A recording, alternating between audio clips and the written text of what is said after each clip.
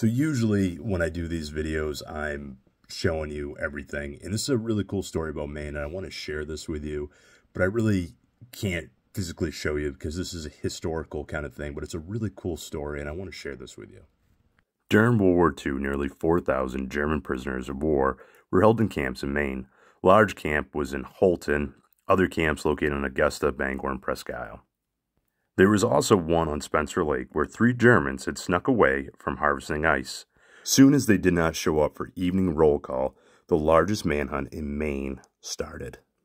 30 officers from Maine State Police, Sheriff's Office, Maine Warden Service, and FBI showed up the following morning. The three men who escaped made makeshift snowshoes from rail ties, short boards, and homemade knives, and even stole a map from a woodcutter. They made a compass out of a needle, a magnetic electric coil, and a tin can. They planned to travel 100 miles to the coast to get to Maine to Argentina. The three young men traveled at night, built shelters from snow and pine boughs. After five days after their escape, the Germans were apprehended at gunpoint in a makeshift lean to. One of the men said they did not want to deal with the mosquitoes and black flies in the summer again. One of the escapees, after serving their three week solitary confinement, took him up on the education, went to the University of Maine, and completed his course, went back to Germany, studied more, Came back, worked for NASA on the Apollo mission, became a citizen in 1961.